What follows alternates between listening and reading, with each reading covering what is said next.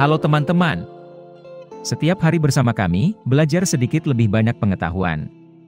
Pada tanggal 1 September 1939, Jerman menginvasi Polandia, dan Perang Dunia II dimulai. Segera setelah itu, pada tanggal 3 September sekutu mereka Inggris dan Perancis menanggapi dengan menyatakan perang terhadap Jerman. Selanjutnya, pada 17 September, Uni Soviet juga menginvasi Polandia dari timur. Jadi mengapa sekutu tidak menyatakan perang terhadap Uni Soviet? Hari ini kami akan membantu orang menjawab, ayo pergi. Untuk memahami semuanya, kita akan kembali ke tahun 1918, setelah Perang Dunia I berakhir, Kekaisaran Austro-Hongaria terpecah menjadi beberapa bagian.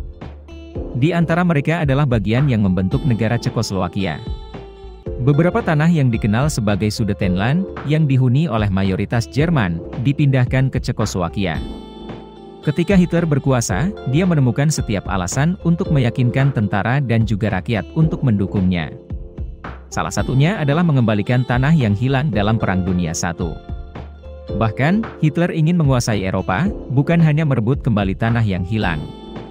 Setelah militerisasi dan menjadi kuat, pada tahun 1938, Hitler mulai melaksanakan rencana tersebut. Yang pertama adalah merebut kembali Sudetenland dari Cekoslowakia. Pada 17 Agustus, Korps relawan Jerman menyerang beberapa daerah di dekat perbatasan Cekoslowakia. Pada hari-hari berikutnya, mereka juga hanya menempati area kecil. Polandia dan Hongaria juga mengambil kesempatan untuk menuntut Cekoslowakia mengembalikan sebagian tanah tempat masyarakat mereka tinggal. Khawatir bahwa Jerman akan mengobarkan perang habis-habisan, Inggris dan Prancis menuntut agar Cekoslowakia menyerahkan tanah untuk menenangkan Hitler. Membayangkan betapa hebatnya ketakutan itu? Kita perlu mengetahui sebuah fakta. Prancis adalah sekutu resmi Cekoslowakia dan menandatangani perjanjian saling membantu selama invasi. Inggris tidak memiliki perjanjian tertulis, tetapi secara teori, jika Prancis membantu Cekoslowakia, Inggris juga akan ikut serta. Jadi mereka bersatu untuk mengkhianati sekutu mereka untuk menyenangkan Hitler. Di bawah tekanan dari empat sisi, Cekoslowakia terpaksa setuju. Pada tanggal 30 September, Perjanjian Munich ditandatangani, memberikan Hitler Sudetenland dengan syarat tidak ada perambahan teritorial lebih lanjut yang diizinkan. Namun, enam bulan kemudian, pada Maret 1939, Hitler melanggar kesepakatan dan menduduki seluruh Cekoslowakia. Pemerintah Inggris dan Perancis menyadari bahwa ia bermaksud untuk menaklukkan seluruh Eropa, bukan hanya merebut kembali tanah itu. Sebagai tanggapan mereka mencari aliansi melawan Hitler di masa depan. Pada 25 Agustus 1939, Perjanjian Anglo-Polandia ditandatangani. Dengan demikian, ketika salah satu dari dua negara diserang oleh Jerman, yang lain akan berdiri untuk mendukung. Prancis memberi wewenang kepada Inggris untuk menerapkan perjanjian itu, dan menyetujui persyaratan yang sama. Dengan demikian, ketika Polandia diserang oleh Jerman, Inggris dan Prancis segera terjun ke medan pertempuran. Adapun fakta bahwa mereka tidak menyatakan perang terhadap Uni Soviet, karena perjanjian itu hanya berbicara tentang saling mendukung ketika diserang oleh Jerman. Selain itu, jika ada negara yang melanggar batas wilayah penandatangan, pihak lain tidak berkewajiban untuk membantu.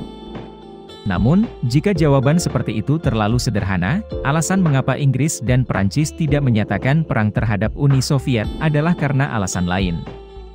Beberapa hari sebelum pasukan Jerman menduduki seluruh Cekoslowakia, Stalin berpidato di Kongres Partai Komunis di Moskow. Negara-negara agresif mengobarkan perang, melanggar kepentingan negara-negara non-agresif, terutama Inggris dan Perancis. Kami mendukung negara-negara yang menjadi korban invasi. Dengan demikian, Uni Soviet sejak awal dimaksudkan untuk memihak Inggris dan Prancis, meskipun mereka tidak menyukai negara-negara kapitalis. Sebaliknya, Inggris dan Prancis juga ingin membentuk aliansi dengan Uni Soviet melawan Jerman, tetapi mereka menghadapi hambatan psikologis yang besar. Salah satunya adalah tidak menyukai rezim komunis. Kedua, meragukan niat Uni Soviet untuk bekerja sama. Alasannya karena Jerman dan Uni Soviet tidak berbagi perbatasan. Jika tentara merah memasuki pertempuran, Polandia atau Rumania harus membiarkan mereka melewati wilayah tersebut. Kedua negara ini memiliki sengketa wilayah dengan Uni Soviet. Karena itu, mereka takut Uni Soviet tidak akan bergerak setelah meminjam jalan. Kerakuan menyebabkan Inggris dan Prancis tidak memiliki keinginan untuk membentuk aliansi dengan Uni Soviet. Dari Juni hingga Agustus 1939, perwakilan Inggris Raya, Prancis, dan Uni Soviet berkumpul di Moskow untuk memutuskan persyaratan kerjasama. Di bawahnya, ketiga kekuatan akan menjamin bantuan militer satu sama lain jika terjadi perang Nazi, kesepakatan awal tercapai.